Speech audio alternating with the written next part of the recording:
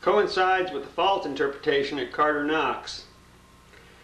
This coincidence suggests that in some instances, perhaps, an interpreted fault zone may be nothing more than a zone where bed thicknesses approach zero thickness.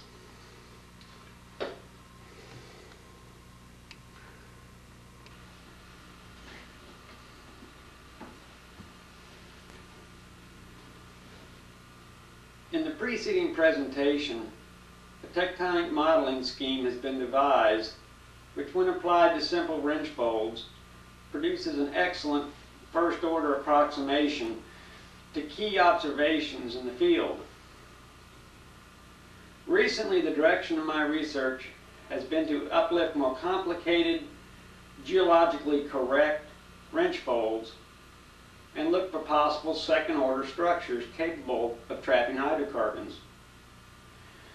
The following diagram helps explain what I mean by geolog geologically correct wrench folds.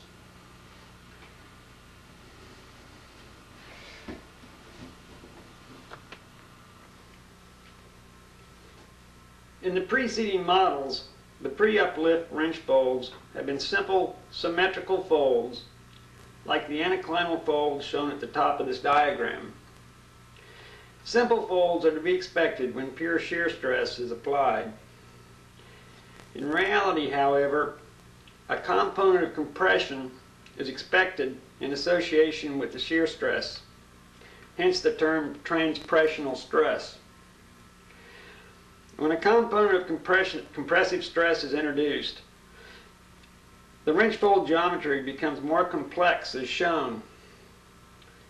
The simple symmetrical anticline is generally twisted into an asymmetrical anticline which exhibits two distinct crests, each capable of trapping hydrocarbons after uplift has occurred.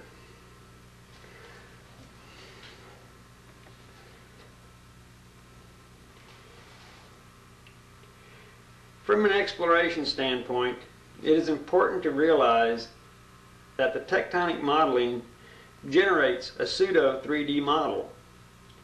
This is accomplished by uplifting a series of 2D cross sections, such as the cross sections here, which represent the complex asymmetrical fold. Given the 3D uplift model, synthetic geophysical data, such as seismic and gravity, can be used to explore for structurally complex traps.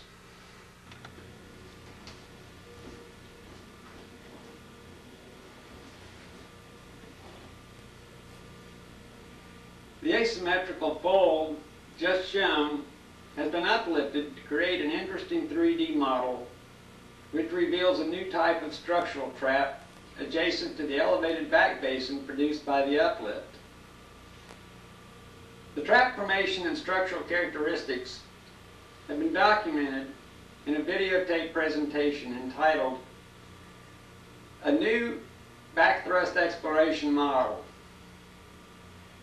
Although not on the videotape for obvious reasons, the 3D model has been used to generate an exploration prospect which represents a potential new field discovery.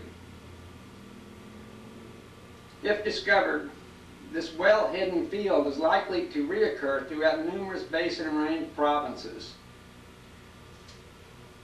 In return for your company's financial support, a copy of the back thrust model videotape will be supplied to you, as well as a personal presentation of the prospect if desired and interested. Additionally, your company will be supplied with updated 3D models which utilize more sophisticated folding and uplift. Finally, in today's petroleum environment, gas is the hydrocarbon choice. Many seasoned explorationists believe that because of the high temperatures, significant untapped gas reserves exist in the structurally complex frontal thrusts. It is my belief that if the tectonic modeling is correct, the, front, the frontal thrusts can be successfully explored using 3D seismic data. If this research proposal is of interest to your company, please contact me for more details. You may be surprised how cost effective your exploration dollars can be. Thank you.